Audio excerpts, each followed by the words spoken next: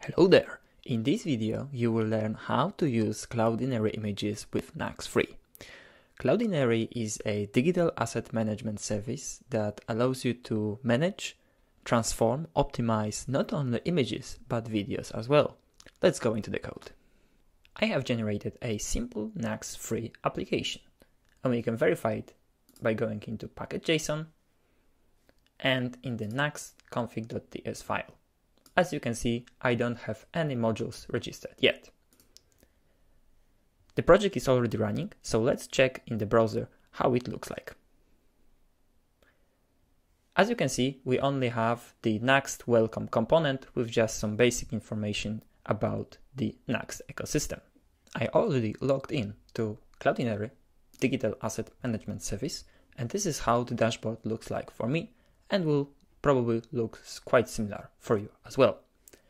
In this video, we'll be focusing mainly on the media library, but make sure to check out other Cloudinary functionalities that are available right here. In this tutorial, we'll be fetching and modifying this image.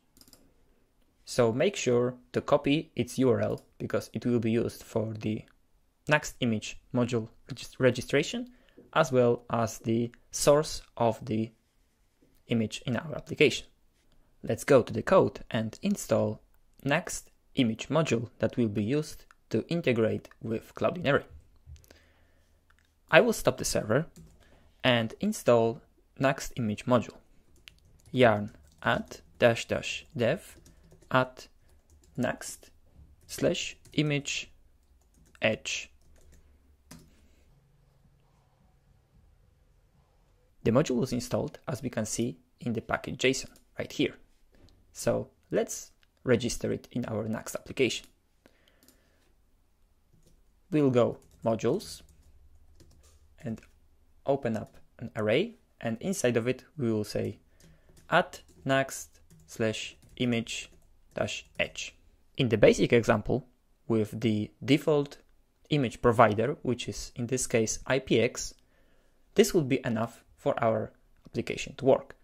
But in this case, we want to integrate with Cloudinary. So the next step here would be to create a new object called image and inside of it say Cloudinary and as a base URL pass part of the path that was our image in Cloudinary media library. Let's paste it right here. And from here, we'll just splice this part as it is not needed here. Then in the app view component, instead of this Nuxt welcome, we'll just say h1 image from Cloudinary. And below, we will say Nuxt image As a provider, here, we'll pass Cloudinary. And as a source, we'll pass this one with the slash. Let's save it, start the server, and see how it looks like in the browser.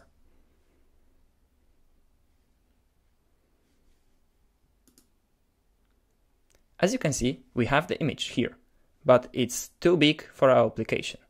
And we want to also use some modifiers as well. So let's go back to the code again and use some width and height props and the modifiers as well.